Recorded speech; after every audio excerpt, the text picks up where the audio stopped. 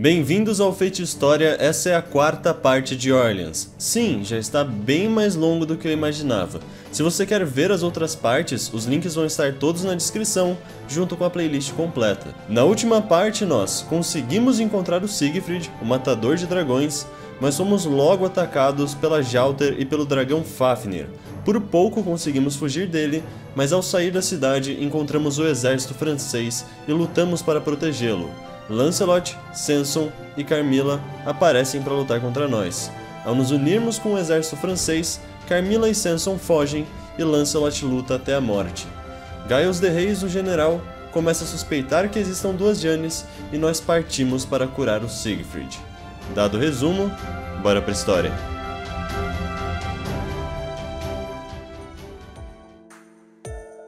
Vocês chegam em um forte abandonado e decidem descansar por lá.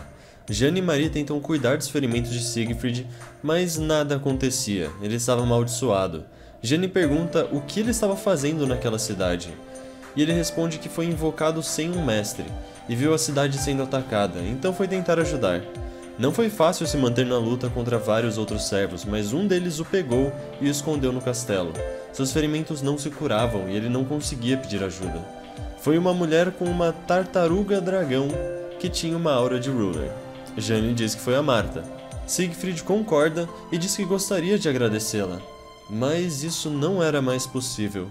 Ele se sente um pouco culpado, pois ela o ajudou quando ele foi inútil. Jane diz que era possível remover as maldições, mas eram tantas que era um milagre ele ainda estar vivo. Mas com outro santo do lado de vocês, seria possível tirar todas essas maldições.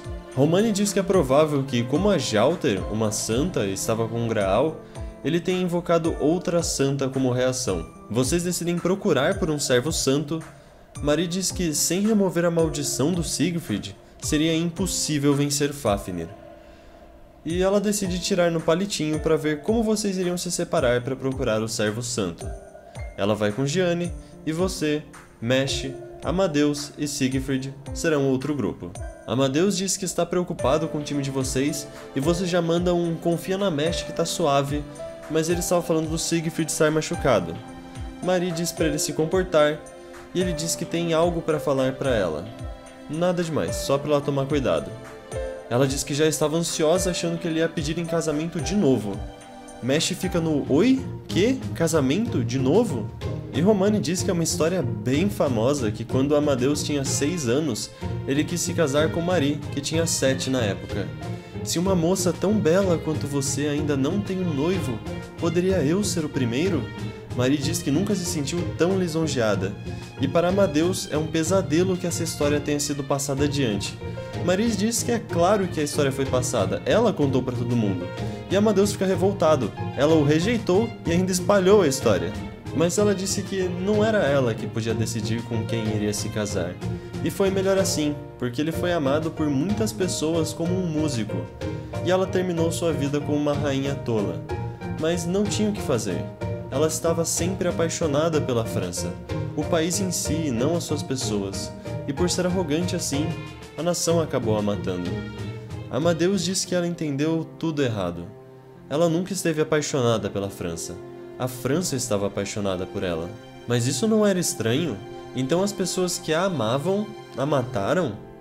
E sim, assim são as pessoas.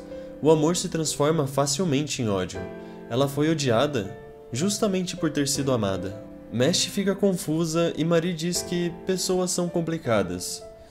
E então, até mesmo no fim, ela não conseguiu encontrar o amor. Mas agora ela está bem. Ela foi amada pela França. Ela se despede de Amadeus e diz que quando se encontrarem, ela vai ouvir seu piano. Mesh diz para Jane se manter em contato de tempos em tempos e as duas vão embora. Amadeus diz para vocês seguirem seu caminho também, mas depois de todo esse papo, você pergunta se ele ainda era apaixonado por Marie. Ele diz que claramente não, não há mais uma paixão por ela. Ele diz que aquele pedido foi um ponto de virada em sua vida igual a singularidade são para nossa história. Quais escolhas o levaram a ser desse jeito? Ele acabaria assim, independente de seus amores, amigos ou qualquer coisa. Quase todas as suas escolhas não são relevantes para o que ele se tornou. Mas se algo poderia ter mudado quem ele é, seria a resposta da Marie. Mesh diz que isso não significa que ele a ama, então? Sim, ele a ama, mas não está apaixonado por ela. Tinha algum problema nisso? Ele disse que humanos eram sujos, isso significava que a Marie também era, não? Mas e daí? Ele ama tudo que é sujo. A música é bela, os humanos são sujos.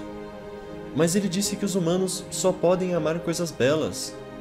Não é que a gente só ame coisas belas, é que nós também podemos amar coisas belas. As coisas já estavam ficando muito confusas para Mesh. Bom, não é algo que ele vai conseguir explicar para Mesh. Ela vai continuar viajando com a gente, não é? Então em algum momento ela vai aprender. Ela vai conseguir entender as coisas ligadas à humanidade. E o Siegfried chega e manda um: Desculpe interromper, mas estamos sendo atacados.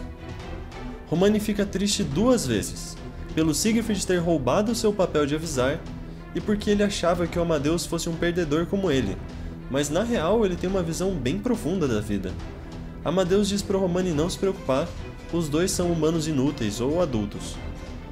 Vocês vencem a luta Siegfried não tem forças para lutar, mas ele consegue andar para acompanhar vocês. Já em um lugar um pouco longe de lá, Marie e Jane estavam conversando. E como sempre, é sobre a Jane não entender a Jalter. Marie diz que ela deveria aceitar a Jalter. Quando ela foi executada, ela não odiou as pessoas por isso. Bom, talvez ela tenha 90% de certeza que não odiou. Mas aqueles 10% ou menos tenho odiado um pouco. Então, se uma versão bruxa-dragão dela aparecesse, talvez ela aceitasse. Mas não era isso que acontecia com a Gianni, era? A Gianni amava todas as pessoas plenamente, e por isso ela salvou a França. Então ela deveria falar para a bruxa-dragão, falar o que ela realmente quer falar, dizer que ela não é a verdadeira, que não é reconhecida. Jane agradece a Marie e diz que no próximo confronto ela com certeza saberia o que dizer. Enquanto Jane e Marie se aproximavam de uma cidade, nós também estávamos chegando. Tears estava logo à frente. Roman identifica dois servos na cidade. Mesh vê chamas sendo disparadas para cima, e Amadeus diz que está ouvindo um som perturbador sem precedentes. Era tão ruim que seu corpo tremia de medo. Mesh ignora o sofrimento de Amadeus e vocês vão todos para a cidade. E chegando lá, vocês veem duas lagartixas brigando. Elas são Elizabeth Bathory, sim, a mesma pessoa que a Carmilla, só que mais jovem e uma Lancer, e Kyohime, uma Berserker. As duas estão brigando e gritando, e Amadeus implora que elas parem. Vocês já têm certeza imediata que elas não são as servas santas que vocês estavam procurando. Mesh diz para elas pararem de brigar elas dizem que estão ocupadas e voltam a brigar. Mesh já estava pistola, mas Amadeus diz que escutou alguma coisa vindo e são outros inimigos. Vocês decidem cuidar deles enquanto as lagartixas ficam brigando. Quando as lutas finalmente acabam, vocês percebem que as duas ainda estão brigando. Amadeus estava enjoado de ouvir a gritaria e diz que não conseguiria ajudar. Siegfried diz que é inútil e não pode lutar, então você grita para elas pararem de brigar. As duas olham para você. Elizabeth diz para você se manter fora da luta, cachorrinho. E Kyohime diz que imprudência e coragem são coisas diferentes. Você é idiota? E você manda um pelo menos eu não sou um réptil. Claro que as duas ficam putas com você e se juntam para brigar. Mas é claro que elas não conseguem vencer a gente. A Mesh fala que quer fazer algumas perguntas, e que Ohime diz que vocês estão chutando o cachorro morto, mas Mesh ainda pergunta se elas viram algum outro servo por aí. Elizabeth diz que só viu gente maluca, tipo a Kyohime, que responde dizendo que apesar de ser berserker, ela ainda tem um intelecto. Mesh pergunta se elas não viram alguém fora do grupo da Bruxa Dragão, e que foi um desperdício de tempo ir para essa cidade. Elizabeth fica pistola. Como assim foi um desperdício se vocês encontraram ela? E você diz que estava procurando uma santa. Kyohime diz que você precisava de coragem para dar essa resposta, mas ela diz que viu um santo muito famoso antes de encontrar a Elizabeth. Eles quase lutaram, mas ao perceber que ela era uma berserker de verdade, ele desistiu da luta. Seu nome era Georgios e ele era bem famoso por lá, mas ele havia ido para outra direção, para o oeste. Mesh disse que foi para lá que Gianni e Mari foram, e vocês fazem contato com elas. Elas tinham acabado de chegar na cidade e estavam prestes a conversar com o servo. Giorgio se aproxima e pergunta quem eram elas. Mari se apresenta e ele logo percebe que vocês não tinham o Madness Enhancement. Ela diz que estava contra a Bruxa Dragão e ia apresentar Jane, mas Jorgeão diz que não era uma boa ideia falar seu nome na cidade. Ele conseguiu fazer seus inimigos recuarem, mas isso não iria acontecer de novo. Jane pede que ele se junte a nós, para remover a maldição do Matador de Dragões. E ele diz que entende a situação e vai ajudar. As pessoas da cidade estavam evacuando e assim que isso acabasse, ele poderia ir. Mas Wyvern se aproximam da cidade. Ele diz que a cidade estava tendo muitos desses ataques recentemente, mas Jane disse que não era isso. Ela sentia a presença da bruxa dragão. Vocês teriam que fugir. Não tinham chance contra ela agora. Georgios diz que não iria antes dos civis evacuarem. Ele era responsável pela proteção deles. Se os abandonasse, não seria mais um santo. Ele sabe que morreria se ficasse, mas é a única opção. Marie diz que ele é muito cabeça dura, mas isso tocou seu coração, e ela pede para ser a responsável pela cidade em seu lugar. Jeanne se opõe. Maria era uma rainha da França. Não agora, mas isso não fazia diferença. Ela iria proteger a cidade, pois os dois santos ainda tinham uma missão a cumprir. Ela diz para irem curar o matador de dragões, e que pelo nome de Maria Antonieta, ela protegeria essa cidade. Jane pede que elas lutem juntas, mas ela não pode. A Maria foi invocada para esse momento, não para ter ódio dos seus inimigos, mas para proteger as pessoas. E essa hora chegou. Ela vai proteger aqueles que são importantes. Para salvar o país, ela tem que fazer o que é certo mas ela pede para que Jane se desculpe para Amadeus por ela, já que ela nunca teve a chance de o ouvir tocar. Depois de se encontrarem quando crianças, eles se viram várias vezes, mas nunca realmente conversaram. Jane se opõe. Marie pergunta se Jorge os aceita o acordo e ele diz que sim. Marie se despede de Jane, dizendo que foi uma grande honra lutar sob sua bandeira. E Jane e Jorge saem da cidade. Assim que eles somem, Marie percebe Samson chegando. Ele disse claro que seria ele a vir. Ele era o único com direito de executá-la. Marie diz: Pera, você é um excelente carrasco, cruel, sem piedade, mas nunca caçoou dos criminosos. Você tratava a guilhotina com respeito, e por isso eu confio em você. Mas isso significa que só você tem o direito de me matar? Isso não é absurdo? Samson foi criado em uma família de carrascos e ele só foi ensinado a como executar. Não é sobre dedicação, é sobre um método, uma técnica. Um bom carrasco não deve causar dor a um criminoso, mas vai além disso. Ele vê emoção, um momento tão bom que mata. É a esse tipo de execução que ele se dedica. O melhor corte de sua vida foi o beijo que ele deu a Marie. E por conta disso, deve ser o destino. Ele sempre quis perguntar para ela: Como foi sua execução? Ela pôde sentir essa emoção. Marie diz que percebe o respeito que Sanson tem por ela, mas é impossível. Não é algo que ela poderia dizer. Ela já viu muitas pessoas com hobbies ruins, mas ela não iria aceitar um segundo beijo dele. Ele sabe que ela não vai aceitar, mas ele treinou desde então, e foi para isso que ele foi invocado para lhe dar essa emoção mais uma vez. Os dois lutam, mas Marie consegue vencê-lo. Samson não entende. Ele matou tantas pessoas, melhorou tanto sua técnica. O que aconteceu? Marie diz que deveria ter avisado ele, que a relação deles acabou naquele dia. Sua lâmina estava enferrujada. Ele matou tantas pessoas que ela perdeu sua direção. Ele era cada vez mais um assassino melhor. E carrascos e assassinos são coisas diferentes. Quanto melhor ele ficava em matar, mais sua lâmina de carrasco enferrujava. No momento que ele se juntou à bruxa dragão, já não era mais aquele que a havia conhecido. Ele se revolta, não pode ser verdade. Ele manteve sua fé e melhorou suas habilidades para vê-la de novo e poder executá-la com muito mais emoção. Quem sabe fazendo isso, ela poderia perdoá-lo. Marie diz que está com pena.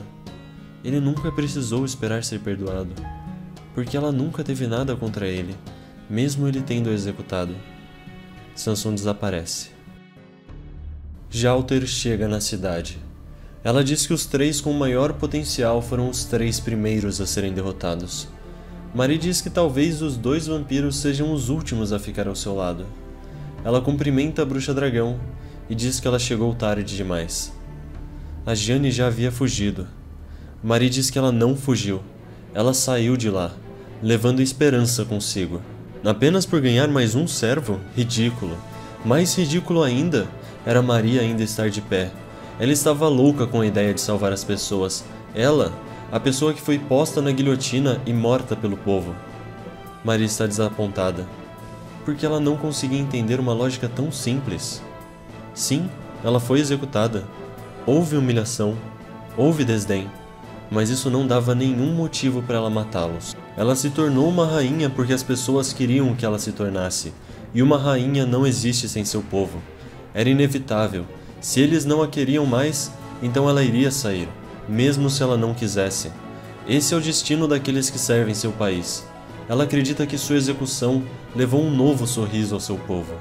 Independente de quando, Viva a França! As estrelas brilham e é isso que bastava. E então, bruxa dragão, quem realmente é você? Jane ataca. Marie usa seu Nubble Fantasma uma última vez. Adeus, Jane. Foi incrível conhecer você. Se eu pude ajudar uma santa que salvou a França, não. Se eu pude ajudar uma amiga, então eu irei gastar tudo o que sobrou do meu brilho e cair, como uma estrela, como uma flor como um sonho efêmero. E é isso que é um servo. E é assim que Maria Antonieta vive.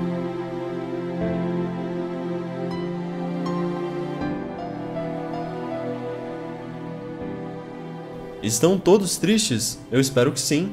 Nós estamos finalmente chegando no final da singularidade, mas devemos ter mais dois vídeos ainda para terminar.